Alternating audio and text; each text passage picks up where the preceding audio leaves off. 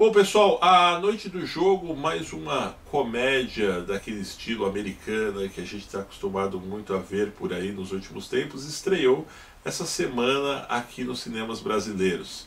Eu assisti um pouquinho antes da estreia e vou trazer detalhes para vocês a seguir da premissa para a gente poder avaliar um pouco o potencial dessa produção, combinado? Max e Anne participam de um grupo de casais que organizam noites de jogos. Mas quando o irmão de Max, Brooks, chega, ele decide mudar um pouco o espírito da coisa e montar um jogo envolvendo crimes e mistérios.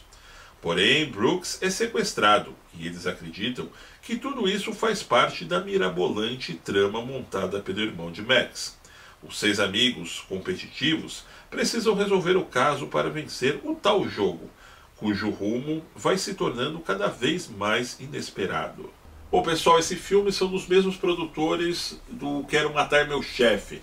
Um filme que foi de 2011, 2012, se eu não me engano, que eu gostei muito, mas que já odiei a sua continuação. E a pegada é exatamente a mesma, tanto que eles trazem aí o ator Jason Bateman, que foi um dos personagens principais lá em Quero Matar Meu Chefe, ao lado da Rachel McAdams, que já é uma atriz muito conhecida, não só no cinema, mas também dentro dos seriados americanos, que traz todo o seu carisma quando incorpora uma trama de comédia como essa. Porém, na minha opinião, esse casamento da Rachel com Jason Bateman, enquanto atores, não casou muito bem para ambos os personagens estarem contracenando ali dentro de A Noite do Jogo.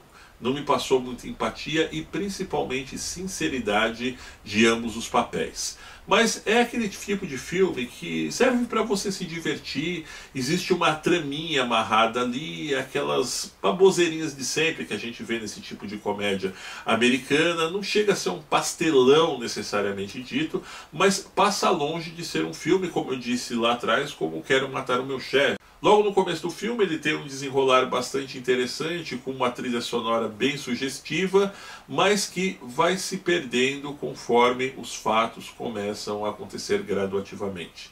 Existe um personagem particular, que é um policial que é vizinho do, do, Max, no caso, e o personagem do Jason Batman, e é o cara que eles tentam evitar a toda a prova porque o cara é meio cafona, é um cara muito chato, mas que gosta de participar de todos os jogos e dentro dessa competição toda eles tentam evitar que o cara participe a todo momento. Esse personagem, na verdade, que eu acho é o mais icônico, o que traz ali consigo realmente algo dentro da trama que vai começar a clarear os nossos olhos e que para mim se tornou ali o cara, digamos que talvez não o mais engraçado, mas sim o mais interessante dentro de toda a trama. Porém, quando você vai chegando lá na metade do filme, você vai ter aquela exata sensação que você já viu esse tipo de filme várias e várias vezes, mesmo porque, como eu disse ainda há pouco, muitos dos atores que estão inclusos no elenco já fizeram filmes do mesmo porte e, por outro lado, também estão aí dentro de vários seriados da TV americana que chegam aqui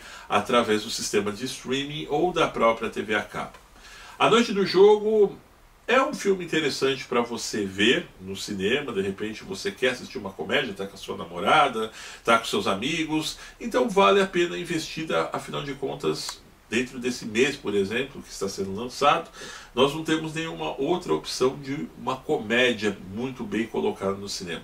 Então vale sim para você poder estar tá indo, para você assistir, mas eu vou dizer o seguinte, não é o tipo de filme que eu assistiria pela segunda vez, ok?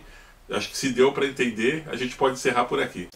É isso aí, meus amigos. Eu espero que tenham gostado do vídeo de hoje. No entanto, não se esqueçam de se inscrever no canal, deixar o seu joinha e participar nos comentários. E para receber nossas novidades, acione a campanha de notificações, que está ali, bem ao lado do botão de inscritos. Um grande abraço e até breve.